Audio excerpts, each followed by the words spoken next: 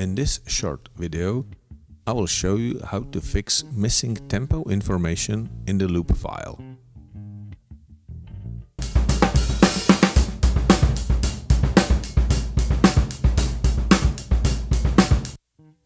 So you bought these loops and you like them.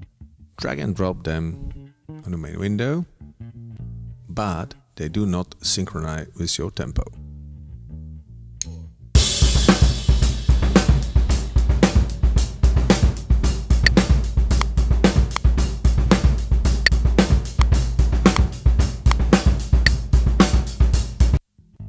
Luckily, this issue can be easily fixed. Just right click on the loop and you see that file tempo is not set.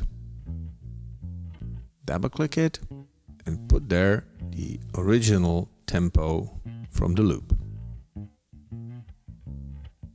Once done, all loops which you dragged are fixed.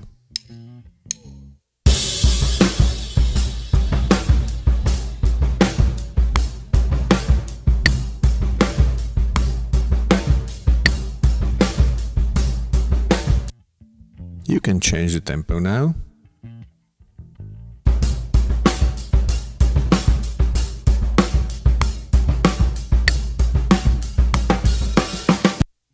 And check the original tempo of the loop.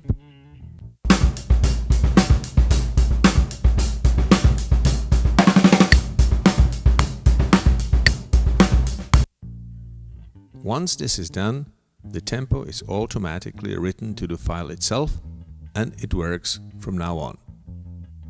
Easy, right?